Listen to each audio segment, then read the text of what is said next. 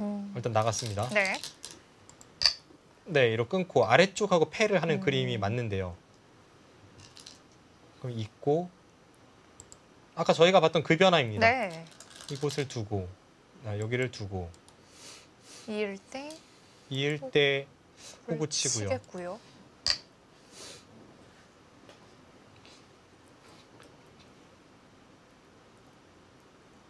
그때 여기를 하나 두고 끊든 아니면 그냥 끊든 흑은 패를 하기 전에 여기를 먼저 노리는 그 흐름 그 진행이 될 것 같습니다.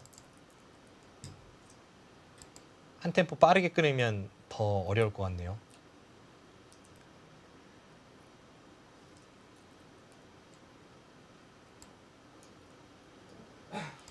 자체로는 백이 지금 여기를 제압하는 흐름이 되니까 음. 일단은 뭐 지불은 엄청난 득을 보면서 출발인데 아, 그렇게 바꿔치기를 하나요? 아, 결국 뒤쪽으로 가는군요.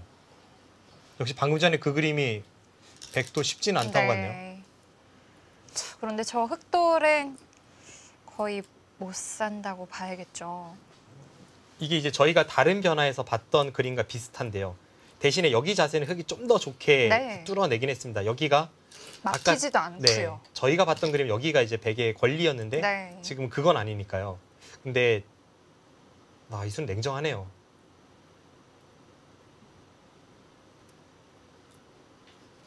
일단 여기가 너무 엄청나서 그렇네요.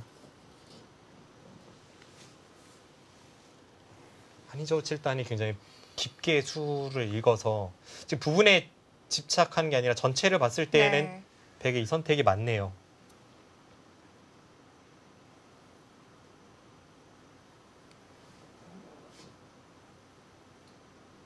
지금은 여기가 잡히는 순간 대응하기는 조금 어렵고요.